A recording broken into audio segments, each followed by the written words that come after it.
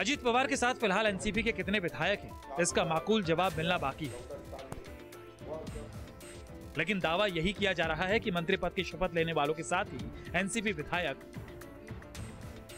किरण लाहमाते, नीलेश लांके, रामराजे निम्बालकर दौलत दारोदा, मरकंद पाटिल, अनुल बेंके, सुनील टिंगरे, अमोल मितकारी, शेखर निकम, निलय नायक, अशोक पवार और सरोज अहिरे समेत करीब 30 विधायक अजीत पवार के साथ खड़े हैं।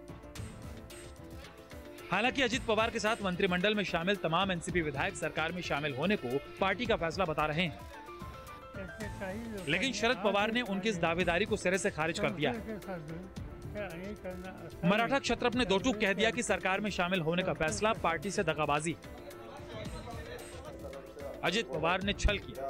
प्रफुल्ल पटेल ने भी धोखा दिया। लेकिन वो सभी जनता की अदालत में मुँह की खाएँगे। हम फिर से पार्टी को खड़ा कर दिखाएँगे।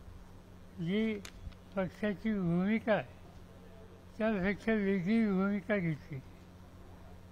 उद्या उद्याच्या सहा तारखेला मी महाराष्ट्राच्या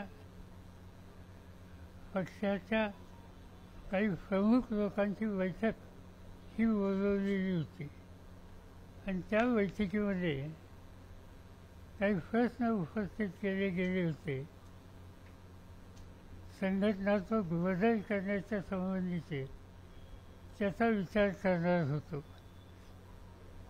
पण प्रश्न उपस्थित जे केले गेले होते.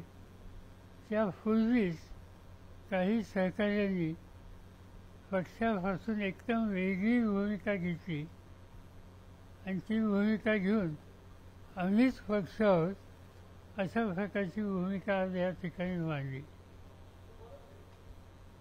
स्वच्छ मत असं आहे तीन दिन पहले देवेंद्र फडणवीस ने पवार साहब को जिस गुगली की चेतावनी दी थी, वो आखिरकार हकीकत बन गई।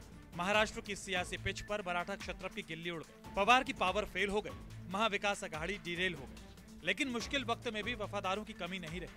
सूबे में एनसीपी के कप्तान जयंत पाटिल पार्टी के साथ चट्टान की तरह खड़े रह गए। बोले, पवार साहब ही नेता हैं। हमारे पार्टी के कुछ नेता, एमएलए,